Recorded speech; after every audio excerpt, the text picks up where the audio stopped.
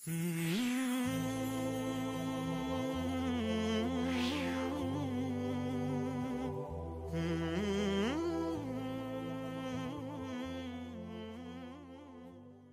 لله نحمده ونستعينه ونستغفره ونعوذ بالله من شرور أنفسنا وسيئات أعمالنا. من يهده الله فلا مضل له ومن يضلل فلا هادي له. وأشهد أن لا إله إلا الله وحده لا شريك له. وأشهد أن محمدا عبده ورسوله لا نبي بعده اللهم صل وسلم على نبينا محمد وعلى آله وأصحابه ومن والاه Para pemirsa, kaum muslimin dan kaum muslimat yang dirahmati oleh Allah Subhanahu wa taala, alhamdulillah kita berjumpa lagi pada sesi kali ini. Kita akan lanjutkan kajian kita terkait dengan tema tauhid. Pada malam hari ini kita akan membahas tentang jenis-jenis kesyirikan. Telah kita jelaskan pada sesi-sesi yang lalu tentang definisi syirik dan dampak buruknya serta bahayanya. Pada malam hari ini kita akan membahas tentang definisi atau jenis-jenis dari uh, kesyirikan. Jikalau kita mengkaji uh, dalil-dalil dari Al-Quran dan Sunnah, maka kita akan dapatkan bahwa syirik terbagi menjadi dua. Yang pertama adalah asyirkul akbar dan yang kedua adalah asyirku al-asghar. Yang dimaksud dengan uh, syirkul akbar adalah menjadikan bagi Allah Subhanahu wa taala tandingan dalam ibadah dan menyamakan Allah Subhanahu wa taala dengan menyamakan makhluk dengan Allah Subhanahu wa taala. Yang mana amalan-amalan ini berkonsekuensi pada keluarnya seorang hamba dari koridor keimanan. Ini adalah definisi dari syirik besar. Itu amalan-amalan dan perbuatan-perbuatan yang mana dalamnya kita mengambil tandingan bagi Allah Subhanahu wa taala dan menyamakan makhluk dengan Allah Subhanahu wa taala dan amalan ini berkonsekuensi pada keluarnya seorang hamba dari koridor keimanan. Adapun syirkul asgor adalah ucapan-ucapan, perbuatan-perbuatan yang dilakukan oleh seorang hamba yang mana dalil-dalil dari Al-Quran dan Sunnah menyatakan bahwa ini adalah bagian dari kesyirikan namun tidak ada penjelasan bahwa ini merupakan bagian dari uh, syirik besar yang dapat mengeluarkan seorang hamba dari keislaman dan keimanan. Jadi ini perbedaannya. Jikalau yang syirik besar berkonsekuensi bagi keluarnya seorang hamba dari keimanan, ke keimanan. Adapun yang kedua, dalil-dalil yang menunjukkan bahwa ini adalah kesyirikan. Namun tidak eh, tidak berpotensi atau tidak berkonsekuensi pada keluarnya seorang hamba dari koridor keislaman. Maka dari eh, dua definisi ini kita bisa mengambil beberapa perbedaan antara syirik besar dan syirik kecil. Perbedaan yang pertama syirik besar berkonsekuensi pada kekufuran Adapun syirik kecil tidak berpotensi pada kekufuran. Dia adalah maksiat, bagian dari dosa besar, namun tidak sampai mengeluarkan seseorang dari koridor keislaman. Yang kedua, syirik besar mengekalkan pelakunya di dalam neraka. Jadi tidak ada ampunan bagi orang yang terjatuh ke dalam syirik besar dan belum bertobat kepada Allah Subhanahu wa taala ketika dia meninggal dunia. Namun syirik kecil perbedaannya dengan syirik kecil, syirik kecil adalah maksiat, dosa besar. Namun dia tahtal masyiah. Yang di bawah kehendak Allah Subhanahu wa taala. Jikalau Allah berkehendak untuk mengampuni, maka dia diampuni. Dan jikalau tidak, maka Allah Subhanahu wa taala akan memberikan siksa sesuai dengan dosa, kadar dosa yang dia yang dia, lakukan. Jadi tidak mengekalkan seseorang dalam neraka. Adapun syirik besar maka dia dikekalkan oleh Allah Subhanahu wa taala dalam neraka waliyadzubillah apabila dia meninggal dunia dalam keadaan berbuat terjatuh ke dalam syirik besar dan belum bertobat kepada Allah Subhanahu wa taala innallaha la yaghfiru an yushraka bihi wa yaghfiru ma duna dzalika liman yasha kata Allah Subhanahu wa taala bahwa Allah Subhanahu wa taala tidak akan mengampuni dosa syirik itu syirik besar dan akan mengampuni dosa-dosa selainnya dan akan memberikan ampunan bagi orang-orang yang dikehendaki yaitu dosa selain syirik besar bisa masuk dalamnya adalah syirik syirik kecil. Yang ketiga, syirik besar bisa menghapuskan seluruh amalan kita. Adapun syirik kecil hanya menghapuskan amalan yang tercemari dengan syirik ini. Jadi, syirik kecil hanya menghapuskan amalan yang tercemari dengan syirik ini. Adapun syirik besar tidak. Ketika seseorang terjerembab dan terjatuh ke dalam syirik besar, maka amalannya dihapuskan oleh Allah Subhanahu wa taala apalagi jika dia meninggal dunia dalam keadaan terjatuh ke dalam uh, syirik besar. Lau asrakta la yahbatanna amaluk. Seandainya engkau terjatuh ke dalam kesyirikan yaitu syirik besar maka akan dihapuskan amalan amalanmu kata Allah Subhanahu wa telah capek kita beramal telah habis tenaga kita untuk beribadah namun apabila ada perbuatan kita yang di dalamnya mensiratkan Allah Subhanahu wa taala atau menjadikan hamba Eh, menjadikan hamba sebagai tandingan bagi Allah Subhanahu dalam ibadah-ibadah maka dikhawatirkan amalan-amalan yang kita lakukan dihapuskan oleh Allah Subhanahu wa taala. Pemirsa eh, kaum muslimin dan kaum muslimat yang dirahmati oleh Allah Subhanahu wa taala. Pertanyaannya bagaimana kita mengetahui dan membedakan bahwa perbuatan ini adalah syirik kecil dan ini adalah syirik besar.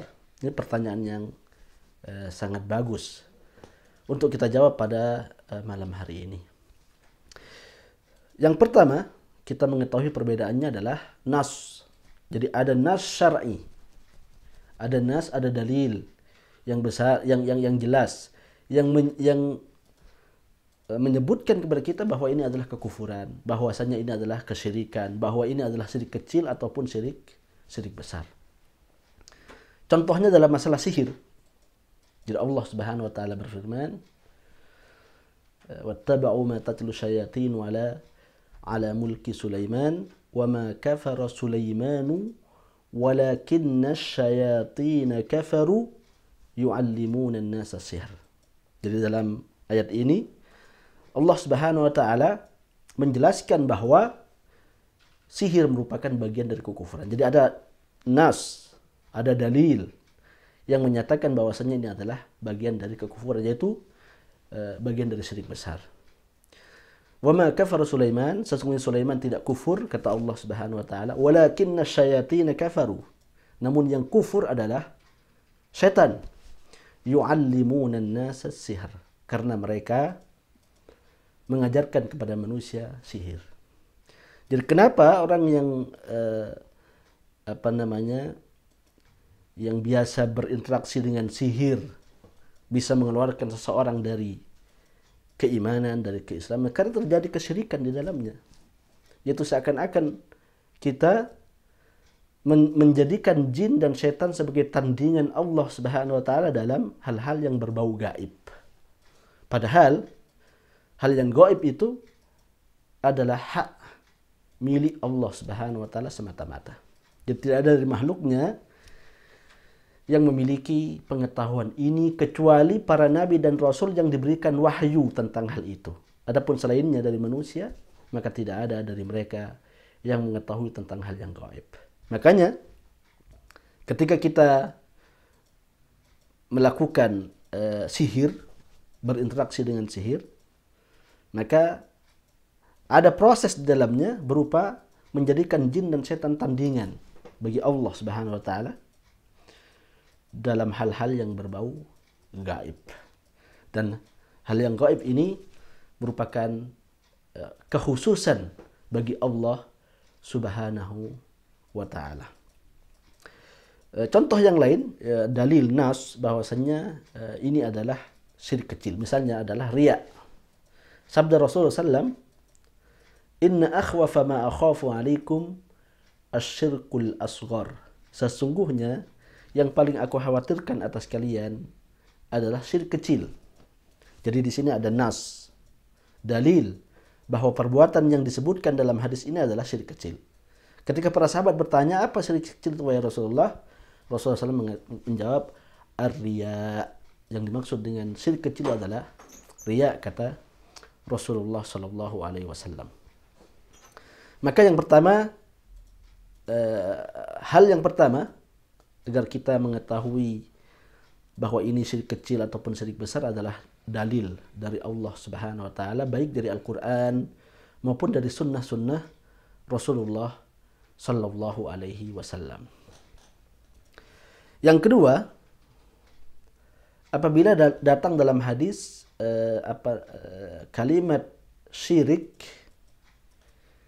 atau kufur dengan nakirah dengan nakirah syirkun atau kufrun. Tidak ada alif dan lamnya di situ.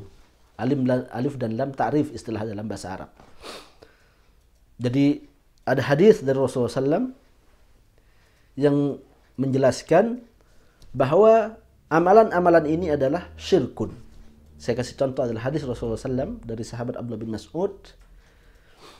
Rasulullah SAW bersabda, Inna ruqa wa tamaima wa tiwalata syirkun Sesungguhnya ar-ruqa, jampi-jampi, mantra-mantra. Wat tamaimah. At-tamaim adalah jimat yang digantungkan yang diyakini bisa memberikan manfaat atau mudarat atau menjauhkan kita dari uh, mudarat. Wat tiwalah itu adalah tiwalah adalah pelet, pengasihan yang dilakukan oleh laki-laki kepada istrinya atau istri kepada laki-laki. Kata Rasulullah syirkun.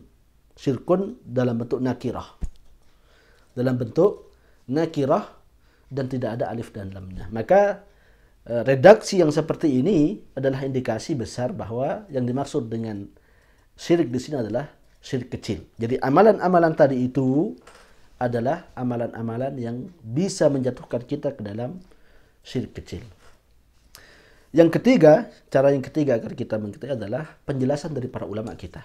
Jadi pentingnya kita untuk mengikuti para ulama, kembali kepada mereka, merujuk kepada perkataan-perkataan dan fatwa-fatwa mereka. Jadi banyak di kalangan para ulama-ulama kita ketika menjelaskan hadis, ketika menjelaskan ayat, yang mereka memerinci bahwasannya ini adalah syirik besar, ini adalah syirik kecil. Misalnya man halafa li ghairillahi faqad asyrak. Barang siapa yang bersumpah dengan selain Allah Subhanahu wa taala maka dia telah syirik. Maka ketika kita membaca hadis ini, yang terbersih dalam terbetik dalam uh, uh, apa namanya dalam pikiran kita adalah syirik besar. Tapi ketika kita membaca penjelasan para ulama kita Ibnu Qayyim al-Jauziyah misalnya ataupun ulama-ulama yang lainnya, kemudian mereka menjelaskan kepada kita maksudnya adalah syirik syirik kecil. Maka ini tiga hal inilah yang bisa menjadi kunci bagi kita untuk mengetahui perbedaan antara syirik besar dan syirik kecil. Yang pertama adalah dalil yang jelas yang mengatakan ini adalah syirik besar ataukah ini adalah kekufuran dan lain sebagainya atau ini syirik kecil dan lain sebagainya. Ini yang pertama. Yang kedua adalah datangnya kalimat syirik atau kufur dalam bentuk nakirah. Kufrun syirkun. Jadi bukan ada tidak ada alif dan lamnya. Contohnya seperti kita sebutkan dalam hadis tadi. Dan yang ketiga adalah kembali dan rujuk kepada para ulama-ulama kita ulama Rabbaniyun yang telah menjelaskan kepada kita dengan gamblang dan jelas tentang eh, jenis-jenis uh, syirik ini. Jikalau kita merujuk kepada mereka, maka kita akan tahu bahwa ini adalah syirik besar, perbuatan-perbuatan ini atau ucapan-ucapan ini adalah syirik besar, adapun ucapan-ucapan ini adalah syirik uh, syirik kecil. Pemirsa yang dirahmati oleh Allah Subhanahu wa taala, inilah yang mungkin bisa kita jelaskan pada malam hari ini terkait dengan jenis-jenis uh, kesyirikan perbedaan antara syirik besar dan syirik kecil serta metode dan sarana untuk agar kita tahu bahwa mana di antara amalan-amalan dan uh, ucapan-ucapan yang masuk dalam kategori syirik besar dan masuk dalam kategori syirik kecil. Akhirnya doa kita panjatkan kepada Allah Subhanahu wa taala semoga Allah senantiasa memberikan taufik dan hidayah, memberikan kenikmatan berupa ilmu yang bermanfaat dan rizki yang halal kepada kita dan senantiasa dituntun oleh Allah Subhanahu wa taala menuju keridhaan keridhaan Allah Subhanahu wa taala. Wa sallallahu ala nabil Mustafa وعلى آله وصحبه وسلم وآخر دعوانا أن الحمد لله رب العالمين السلام عليكم ورحمة الله وبركاته